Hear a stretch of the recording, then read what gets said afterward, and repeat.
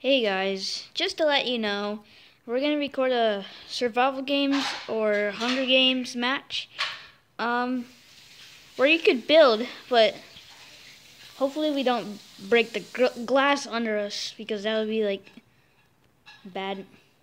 So yeah, this, as you can see, it's a pretty terrible map, but me and my friend are they say he says that it's it's good too.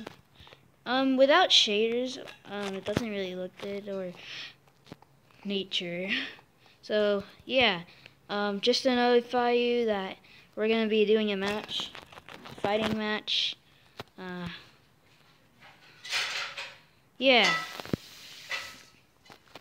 We'll just yeah we'll do that.